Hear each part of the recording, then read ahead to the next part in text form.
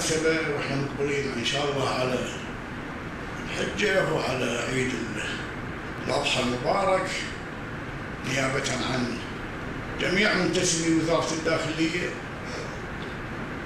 نسائها ورجالها. متقاعدينها وموظفينها مدنينها وعسكرينها.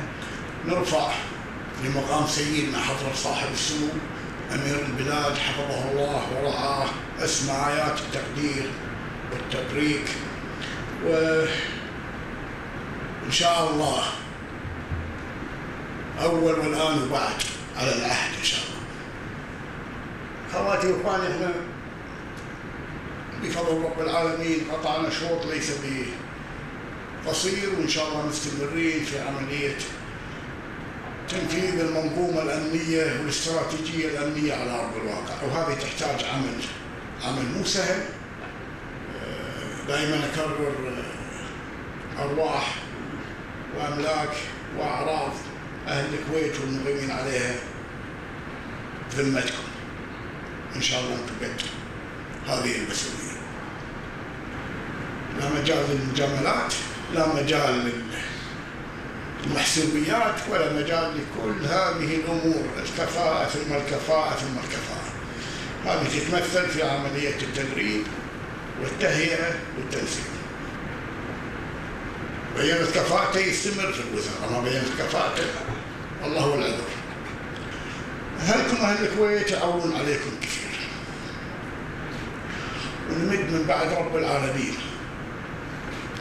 ودعم لا محدود من سيدنا صاحب السمو نمد. قوتنا واستمراريتنا في هذا الأداء إن شاء الله يكون يرضي أهل الكويت من دعمهم. إحنا دولة مؤسسات.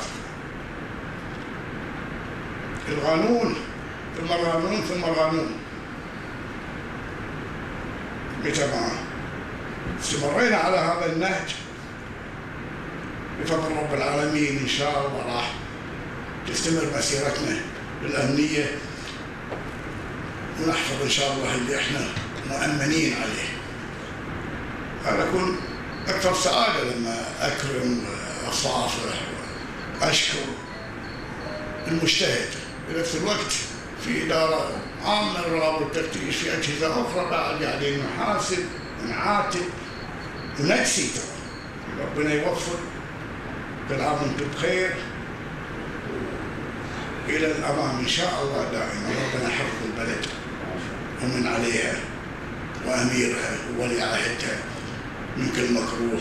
السلام عليكم.